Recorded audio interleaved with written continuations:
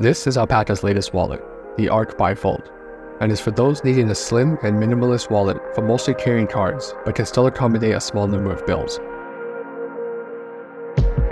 Made with an X-Pac VX21 fabric, the ARK wallet is weatherproof and UV-proof.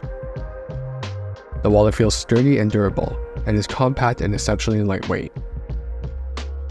The ARK Bifold retails for $49, and there are three color options to choose from, black, dark green, and slate gray. The interior fold features a vibrant orange accent that adds contrast with a pop of color. The wallet includes RFID protection and features a total of 5 slots, one of which is a dedicated cash slot that accommodates folded bills. I like that there are two vertical slots at the front, which allows for easier access. On the right side, you will find a third card slot. This deeper slot is for storing a small number of folded bills or can be used for storing additional cards if needed. The last two card slots are located underneath. The wallet can hold a maximum capacity of 12 to 14 cards, but I would say that 10 cards is the maximum number I would put without overly stretching the fabric too much. My usual carry consists of 4 to 5 cards, at this capacity, the cash slot can comfortably accommodate 10 bills or more. At the max capacity of 12 cards, the slot can comfortably handle 6 bills. This wallet is a great option for those of you who predominantly carry cards, or at times when you don't require a lot of cash.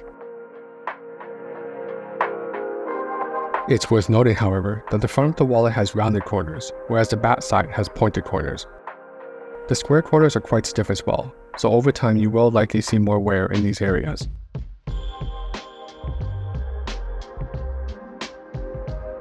Here is a side-by-side -side comparison with my main wallet, the Bellroy Note Sleeve. This is how the wallet looks when empty.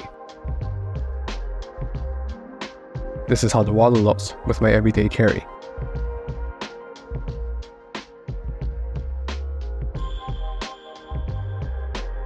And this is how the wallet looks at maximum capacity.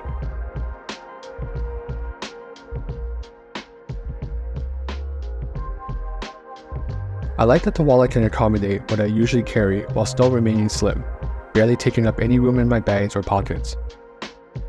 I really enjoy the vertical layout.